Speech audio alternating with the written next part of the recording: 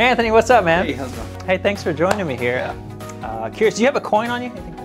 In your pocket? no, no. That tells me something about you, the younger generation. Yeah, yeah. You guys are confident in the system. You, you carry your plastic everywhere. I do. You do? You do? Apple Pay and such. Yeah, there you go. Hey, it's no problem, no problem. I actually have a coin now. This, our generation doesn't carry this around. This is a uh, Benjamin Franklin half dollar. And I'm going to show you what a magician does with a coin uh, to place it in his pocket. So place the coin right there. Watch closely. One, two. As a magician, that's, uh, yeah. there, right there in the pocket. There's the coin right back. Uh, okay. I'll show it to you in slow motion. You, actually see it this time. Ready? Ready? This time you'll see it go. Hup. There it is, uh, right back there in the pocket. That's the the, the coin. oh, way.